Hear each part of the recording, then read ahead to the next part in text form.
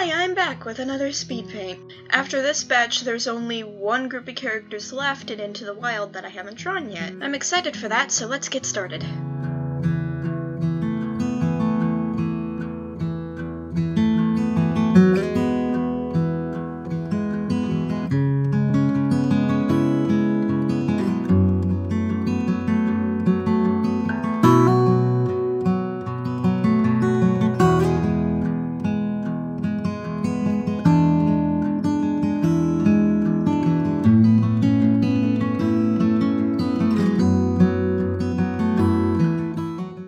As you saw at the beginning there, I adjusted Patchpelt's fur pattern to better match with what I have in mind for his son Swiftpaw, but now I'm drawing Goldenflower. I imagine she was intelligent and a good strategist, and kept up well with Tigerclaw. I bet they both like dry humor. I wouldn't mind a novella exploring Goldenflower's character more. I wonder if she and Tawnypelt ever talk during gatherings.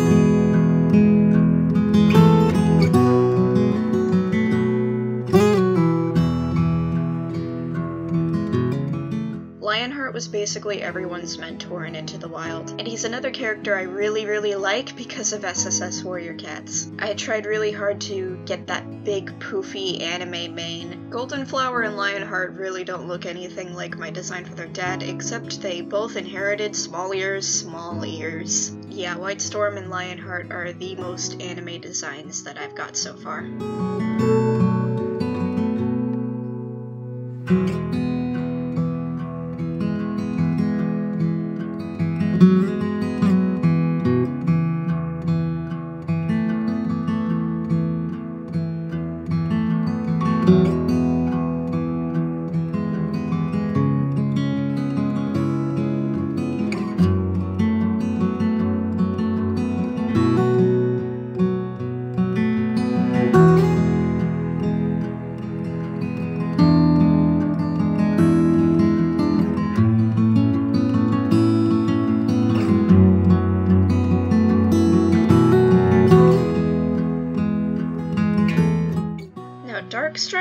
Is neither young nor pretty. And he's stinky. I like Darkstripe and Graystripe being half brothers, and you can rip that from my cold dead hands. This family tree is already so much of a mess, I'm practically throwing everything into the pot and saying it's all canon.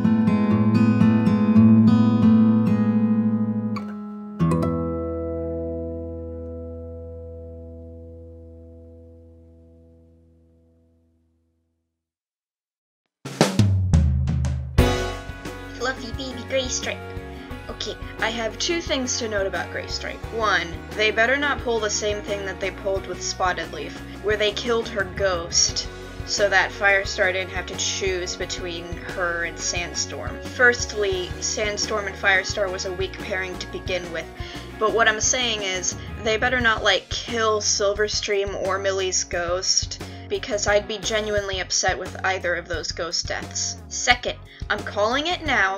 In the Graystripe Super Edition, he's gonna go to the Tribe Cats to get Stormfur, and the Tribe Cats are gonna show up, and they're gonna help the clans take down Bramblefake. I'm calling it now.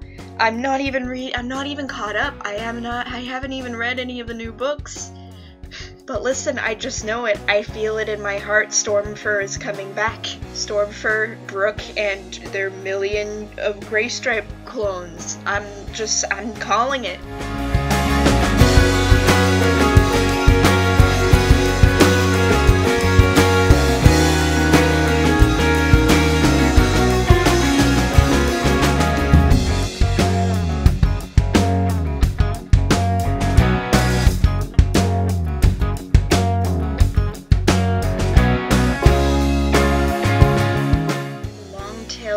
Redemption Arc.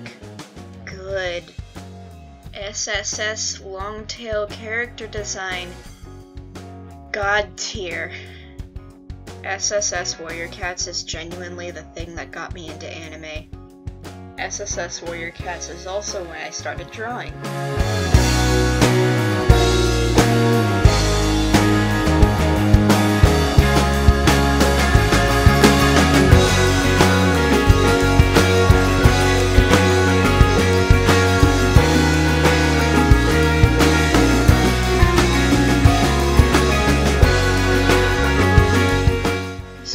Swiftpaw's pose I've had in mind for a long time. He was gonna have some bite marks on him, but I decided a little while ago that I was gonna keep blood out of the family tree drawings. I'm fine with drawing blood, my main concern is that it could distract from the actual look of the character. I'll actually be drawing Brightheart next week, so that'll be fun. She's my second favorite character after Ravenpaw. I love her character arc with Cloudtail, and I really wish that Jayfeather would have stuck it out and she could have trained him to be a warrior.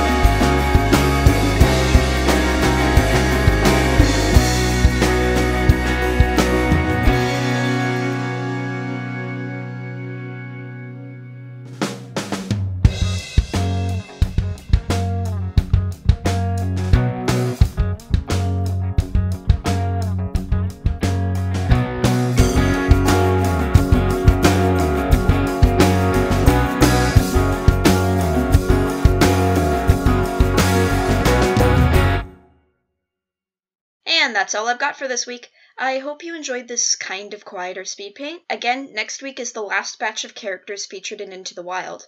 After that, I'll be moving on to Fire and Ice. That means a lot of WindClan cats are going to come pouring in. We got Onestar, uh, Deadfoot, Morningflower, Go- Gorsepaw. Gorsepaw will be in it because he's Gorsekit in that book. But yeah, hope you like WindClan. I'll also finally start sorting these guys into a family tree. And if you want to see that, my Tumblr and my Twitter are in the description below. And that's where it will end up. So you want to go there if you want to see it. Alright, you'll hear from me next week. Bye!